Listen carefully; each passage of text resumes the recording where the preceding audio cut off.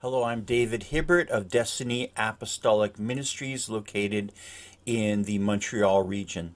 I was formerly a very strong, stubborn atheist until I had a personal encounter with the Spirit of God. And in a moment, my whole life, my whole worldview completely changed. And I suddenly became a strong believer in the truths as recorded in the Bible.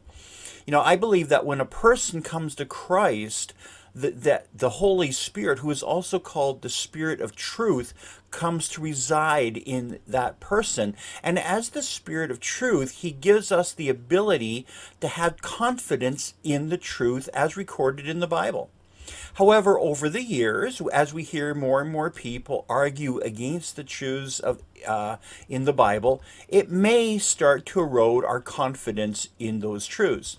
Thankfully, God is an incredibly gracious God and is more than willing to give us new evidence, especially right now, scientific support and archaeological evidence at just the right time to reinforce our Christian faith. So today we're going to we're going to share with you a recently uh, developed documentary video called "The Red Sea Crossing," with Kevin Fisher, who's the founder of Archaeology uh, Discovered. As confidence in the Bible account of the Red Sea crossing is eroding, God is using a number of men and women to bring new evidence to support the accuracy of the biblical account. And you, I can promise you, you are going to be amazed as you see pictures of exactly where the Israelites crossed the Red Sea, and you're going to see pictures and even videos of the archaeological evidence uh, that has recently been found that completely supports supports the biblical account. So be encouraged, but also I encourage you to share this video with your friends and let them also be encouraged with the truth. God bless you. Please enjoy.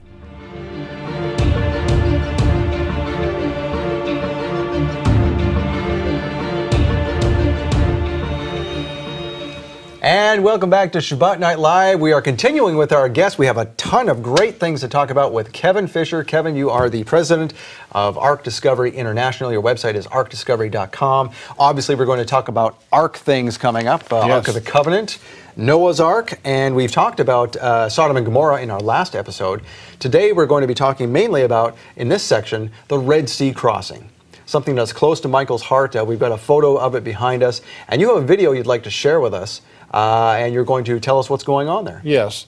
Before we start the video, we have a map here of the Sinai Peninsula. Okay. Where the children of Israel, they left Egypt proper, which will be over in the Cairo area, for instance, and they traveled east across the Sinai, and then they were told to turn south, which that brought them down through the Wadi Watur, through the mountains, and then the Wadi Watur emptied out onto this large beach that we see on the east side of the Sinai Peninsula and, and the western is, western edge of the Gulf of Aqaba. And that is Nuweiba. That's Nuweiba, and that's where we're headed to. That's the Red Sea crossing site. So in our video here, we're going to go down to Nuweiba from two different directions. We'll first start out here in Cairo, and then uh, from there, we'll head over to Nuweiba, and then in the second part of the video, we'll be heading down from Eilat, Israel, down to Nuweiba. So here, we're starting out in Cairo, and we're driving through the city here. You can see it's quite large. You see the minarets and so forth in the background. So you're literally going to take us to Sinai in your yes, car? Yes, All right, this is great. This is the route. We're going to actually travel almost the route that the children of Israel took, crossing the Sinai and going over to the Red Sea crossing. Here in the background, you can see a large ancient castle there in Cairo. Of course, they have a lot of history compared to the United States. Yes, hundreds um, and hundreds of, yeah. if not thousands, yes. obviously thousands of years there. And so there's a mosque that we're driving by. Our taxi's taking us to our hotel at this point. But uh, again, more this large ancient castle there. And so the next morning from atop our hotel, we're looking down on the streets there in Cairo, and you can see the old world and the new world together. We see this donkey cart next to the traffic zooming by. And uh, much like what you see in Jerusalem with the old and, yes, old and new city. Yes, yeah. right. So the, the poor and, uh, and then the rich, you know, also. So uh, from here, we're going to be taking a look across the city. From this vantage point, you can look across the city here.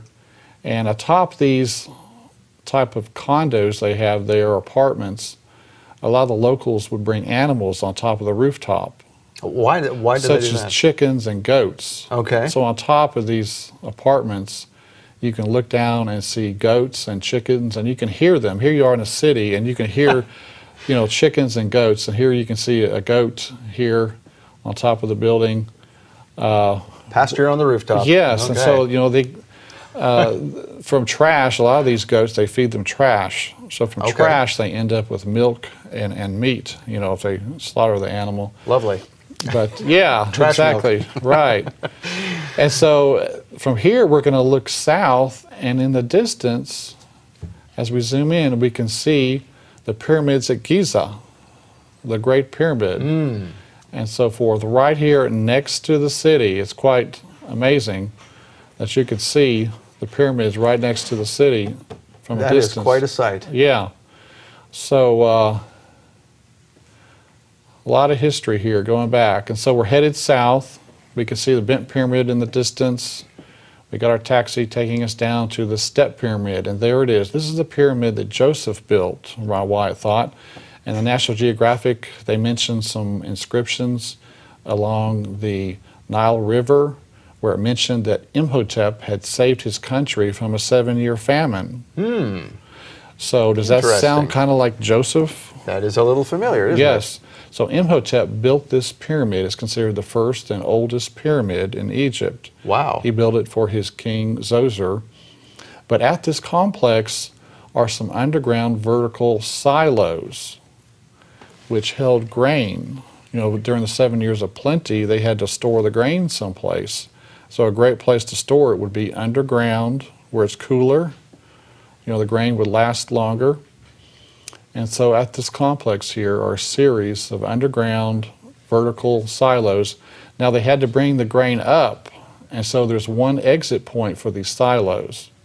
And this is the exit point where they would go down and get the first grain out. The first grain that went in came out first. First in, first out. And so they went down these steps and carried the grain up in you know bags of grain. So Joseph was able to save his country. So it's uh, the ancient, uh, ancient best before date system. Yes, exactly. so uh, this made you know Egypt very rich, the sale of the grain. So in our graphic again here, the map, we're going to go across the Sinai, and we're going to turn south and go through the mountains to the Red Sea crossing site. That's our destination. But uh, you know, Solomon's seaport was on the northern tip of the Gulf of Aqaba at Elat, according to 1 Kings 9:26, and it termed this body of water as Yam Suf, or the Red Sea.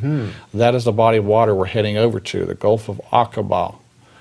And as we're heading east out of Cairo, we're taking our taxi, and we encounter the uh, Suez Canal that we've all heard of, and along the way here, we have to go underneath the Suez Canal.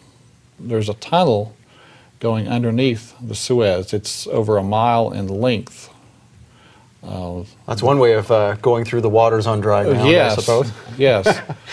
So uh, our driver's taking us through the tunnel here, and we've got an abbreviated video segment of it as we enter. And it's a quite nice, but it is a small, you know, two-lane tunnel. But then we come out the other side after driving over a mile, and we have just left Africa, and we're now in Asia, and we're going to go across the Sinai Peninsula, similar to the route that the children of Israel took. And Albeit not on asphalt. But, yes, right. Along the way, we saw this truck in front of us that said, I love Jesus. Of course, we're in a Muslim country, but uh, we thought that was interesting. That's very gutsy in a Uh, yeah, right, right. And so we went through some checkpoints on the way, going through. Were you ever questioned about your video uh, along the way by those in the checkpoints? Well, usually our driver would tell us to put the cameras down. Probably Yeah. a wise choice. yeah, right. We don't want to be hauled off to jail. No. So along the way, you see the, all the flat terrain. You know, this would enable them to travel more quickly across the Sinai. You know, they want to get out of Dodge as fast as possible. Mm-hmm.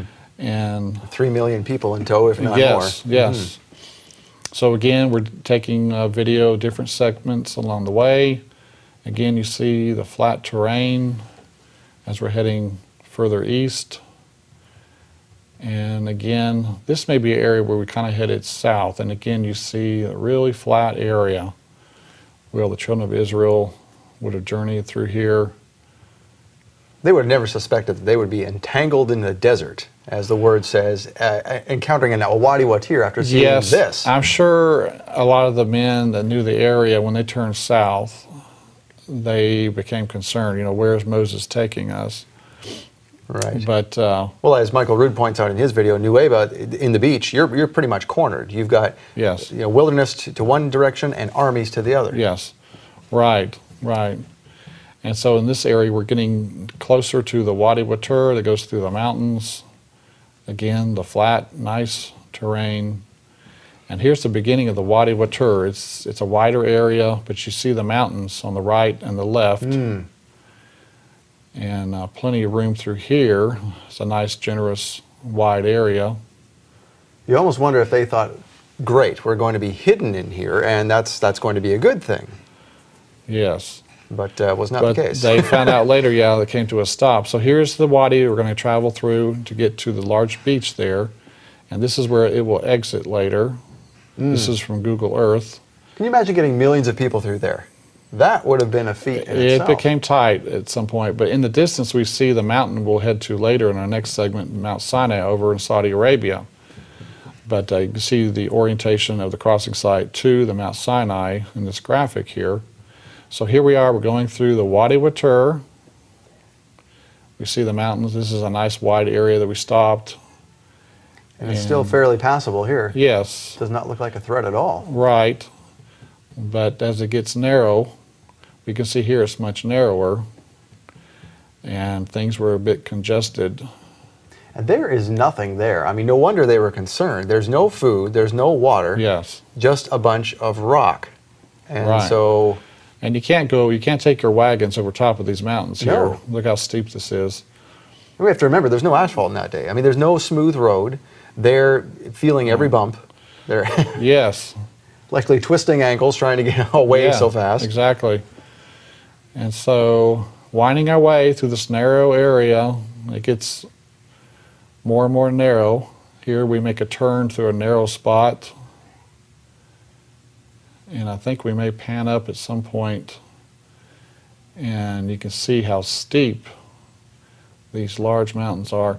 So it says in Exodus 14, they're entangled in the land, the wilderness hath shut them in. So Exodus is telling us they're going through the Wadi Watur, they feel all shut in, they're entangled, you know, they're winding their way through these narrow mountains. And Yeah, for those who argue a different crossing point, that verse would not make sense. Right. Where are they going to be literally entangled? yes, and you can see how steep it is. Very steep there. We we shot up there. And again, very narrow. You're not going to go over top of these mountains. But Josephus said, For there was on each side a ridge of mountains that terminated at the sea, which were impassable by reason of their roughness and obstructed their flight. So again, he is agreeing with what the Bible is saying about the mountains. And even with more detail that would further that it's prove. terminating at the sea. Mm-hmm. And here we're getting closer to the exit point, closer to the beach where they'll come to a stop. In the distance are the end of the mountains. And this is the end of the Wadi Watur. You can see here where it's washed out recently. Hmm. Now, had you wondered as you were approaching this, where did that fire come down and separate the Egyptians from We the will see evidence of it. Really? Yes, we Okay. will show that to you. So here we're getting closer to the exit point of the wadi. In the distance is the beach, and past that we can see in the distance now the water of the Gulf of Aqaba. Now, there's something on that beach uh, modern, is there not? There's some kind of, there's some buildings there. There is, and we'll see that, yes. So there's the wadi we traveled through. We're now at the beach at Nuweiba. And now we're going to show you the second way to get to the beach, and this would be from Israel. If you, here's a lot, It's Saturday evening. The day is eve- is ending, and the next morning we're going to head out through the Israeli exit point and then go over into the Egyptian border station here. And so the, the, the Taba Gateway, and we had our driver waiting for us, ready to take us. We're heading south about 50 miles, heading down to Nuweiba. And This is the Israeli way. this is from Israel, yes. Okay. You can get to it from Israel. And on the left, we can see the waters of the Gulf of Aqaba. So I'm here in the back seat. We see the water Oh, there it is there, yeah.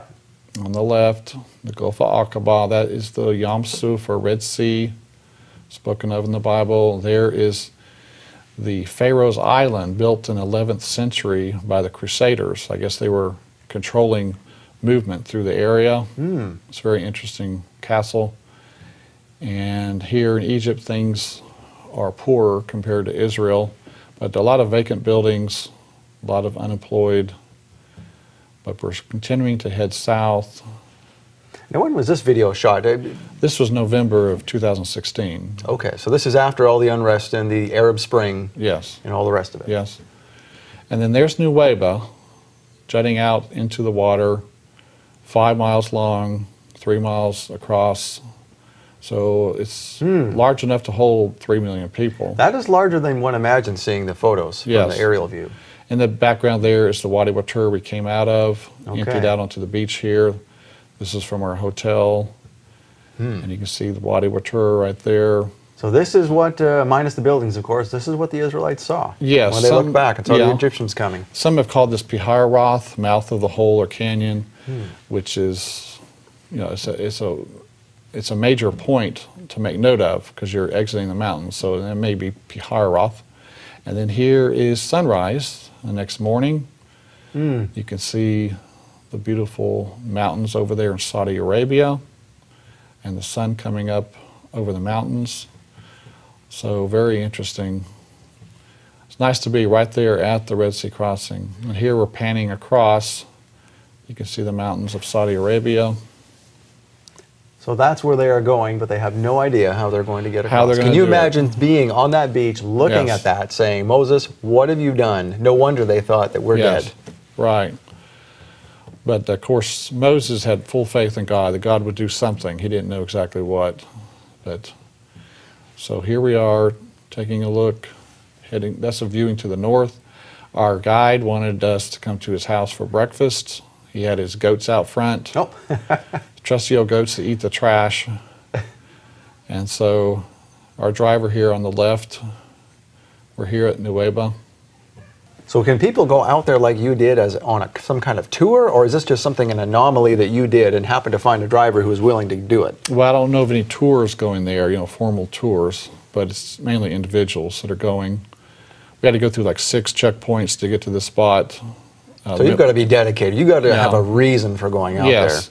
And there's so much uh, military there on the way to the Nue- Nuweiba, it can turn off a lot of visitors, tourists, I think. Mm-hmm. And that's what one of the hotel owners said. So here, our guide was giving us some tea, and then we headed out from here. We were going to head over to the pillar that marks the spot there there. Ah, okay. at Nuweiba. And you can see the poor area of town, the Bedouins living. Now this this is the the pillar that has been eroded over time, not the ones that the Saudis found on the other side, which was pretty much intact. Right, this will be the Egyptian pillar we're heading toward. And uh, it was found lying in the water. Here we can see it in the distance next to the road in the center of the video. Oh, there it is erected there. Yep. Yeah. Okay. So Ron Wyatt showed it to the authorities in 1978. The Israelis were occupying the Sinai Peninsula. He showed it to them. They brought it back from the water's edge and set it up in concrete, which was very nice. So today you can go there and stand beside this pillar. And that's all thanks to Ron Wyatt. yeah, Essentially. And, and Solomon, who who erected it to start with. Of course, yeah. So you know, so uh, the matching column on the Saudi Arabian side had Hebrew writing on it still when Ron found it in 1984 that said Solomon, Pharaoh, Yahweh, death, Mizraim, which means Egypt, um, water, Edom. So this was a marker marking the Red Sea crossing spot. And Well, and this- some, someone has made their own markings on it. Yes, unfortunately, but uh, modern graffiti. But um, Solomon Seaport, Elath, was 50 miles to the north there at modern day Elat. And so Solomon, this was his area, this was his neighborhood. And so 400 years after the fact, he had these column, columns erected to mark the spot of the Red Sea crossing. He knew full well where this event took place. So that must have been passed down from family to family. Yeah, sure. Yep.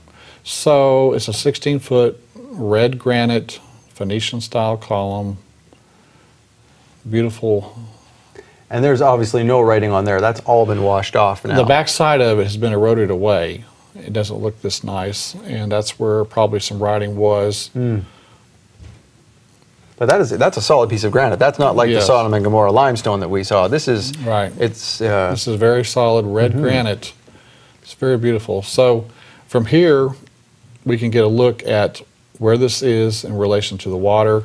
It's set back, the water's a couple hundred yards away. And this is the beach here essentially. Yeah, this is the crossing area right here where the water actually opened up. Wow. Yes, it's amazing to stand here. Now, is there uh, a definite place on the other side that we can match up as to where Yes. from the beach? The column that was cut down in Saudi Arabia, the base of it is still there. Oh, okay. So if you if you line these up, it's 13 miles across the water. Yes. So we're traveling through the local Bedouin village here. But up to the north, before we head down to the crossing site, up to the north is Migdal, or fortress, um, that is at the narrowest point where the water and mountains come together. Is this fortress? I, I imagine it was designed to limit the travelers going up and down through the beach there, heading north or south. And so this was some type of Egyptian fortress designed to control movement through the area. And inside the fort here, they had a nice well dug that uh, would serve the soldiers here in the nice fort. And so some of the locals were following us in here, and they were showing us this well that the soldiers would have used.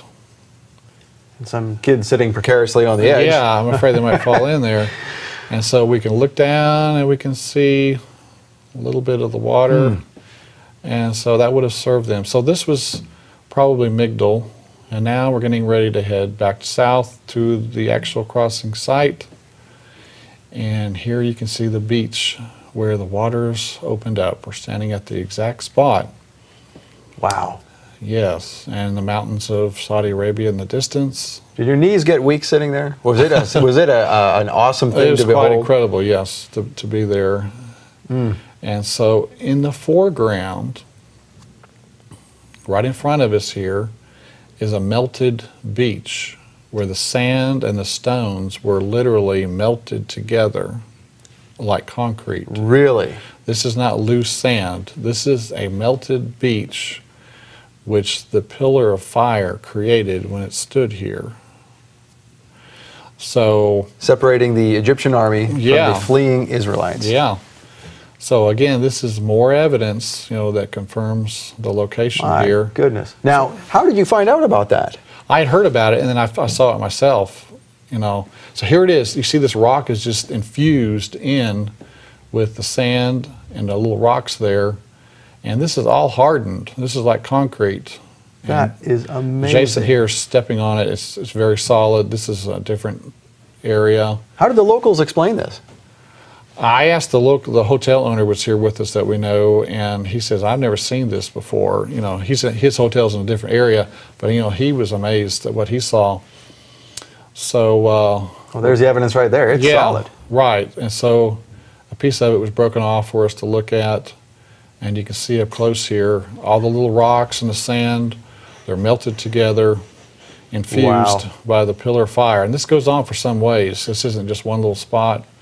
And so Ron Wyatt went, went scuba diving out there, and various things have been found in the water. You can see human femur bone that is coral encrusted, which would be something you would expect. And on the left here, we see a normal one. On the right, you see the coral encrusted femur from one of the soldiers. On the top left, you see a human rib cage stuck in the coral. Now, what about people who say, "Oh, this is just this is table coral"? It's it's just It, it's not because it has metal in it. And so here's a horse's hoof. It's shriveled up when they took it out of the water. It shriveled up. So again, we have horse parts, human parts. what are we seeing here? What is this coral? Uh, And so this is coral standing on an axle and it has a raised center hub with spokes going outwards. Here's another round chariot with a raised center hub and then spokes going out and it's got a round shape to it. Again, it's covered in coral. Do some people say that these are just modern shipwrecks? Some people have said that, but again, this agrees totally with the design of the chariot wheels. Hmm. With the raised center hub and using metal detectors, there is metal in the center. There are spokes going out. This is a four spoke wheel with three spokes left. Four spoke wheels, six spoke wheels, and eight spoke wheels are found here. Hmm. Of course, using the metal detector, like he's demonstrating here, all the hubs here contain metal, and that is the design of the Egyptian chariot wheel with the metal center hub. Now, here is a gold plated wheel. There were 600 choice chariots used in the Exodus, we're told, so you would expect to find 1,200 uh, chariot wheels here with gold. And this one is special, it's gold plated. And two or three of these were found by Mr. Wyatt. Now we see a more shallow area where the Red Sea crossing took place. It's shallower here compared to the north and compared to the south. It's still deep. It has to be a deep area. It's 2,800 feet deep, but that gives you a 4% grade, which is manageable. Over in Saudi Arabia, you see the remains of the pillar uh, that was found there on the Saudi Arabian side. It was cut down by the Saudi authorities. It had Hebrew writing on it. We don't know where it is. But there in the Saudi waters, Viveka Ponten went scuba diving and she found this beautiful chariot wheel in the Saudi Arabian waters. So you have chariot parts on the Egyptian side, chariot parts on the Saudi Arabian side. but it's not the crossing site. It couldn't be. That's what the critics would say, but uh, you know the evidence is here; it's real. So we rented a boat and went out with a Rove, a remote operated vehicle. Uh, had a hundred foot tether, and so we were going to do some little inspecting ourselves. this is a submarine camera. Yes, for Okay. a few hours. And we didn't have days and weeks to do this. We had a few hours. We rented the nice boat here to take off. We headed down toward the south end of the beach. We're headed toward that area. And you can see the waters uh, extending over to Saudi Arabia in the distance. And So were you stopped by the Saudi authorities like uh, Lennart Möller was? they sometimes they do. Yeah, if they suspect you, they'll come over and see what you're up to. Mm. But uh, so now we're in the approximate area, and we're gonna we're gonna throw the drone into the water. So you closest to what? Which land is that We're there? close to Egypt Close to Egypt, Saudi, right. uh, excuse me, Sinai Okay. Peninsula. So we're getting it ready for another launching here. So here's the camera. It's got three propellers, um, and it's giving us a live feed back up into the boat. And uh, so that day we were able to see something that looked around, but we couldn't confirm that it was a chariot wheel. So here we're launching it. And then here's an instant replay on board the Rove. The Rove's videoing this, and so we're down in the water. So where you are is not that deep. Where you are right here. Right, Close it's, to the it's land. not that deep, yes. And so you can see some coral parts here. But again, coral doesn't grow on sand. There has true. to be It something for it to grow on. something, yes. Mhm. So obviously there has to be something down there. Yes. But this area is very remote. I wouldn't imagine that it's, you know, pieces from human, uh, from modern humans, because why would they be there? There's, there's nothing there. Yes. So some of these objects here may be from the, uh, you know, the Pharaoh's armory. We can't tell for sure. This is fascinating. So we have the, the video from the Red Sea crossing. Thank you for showing us your, your trip down there. Uh, after the break, we are going to come back and uh, talk about Mount Sinai, what's on the other side of the Red Sea crossing. So we look forward to that.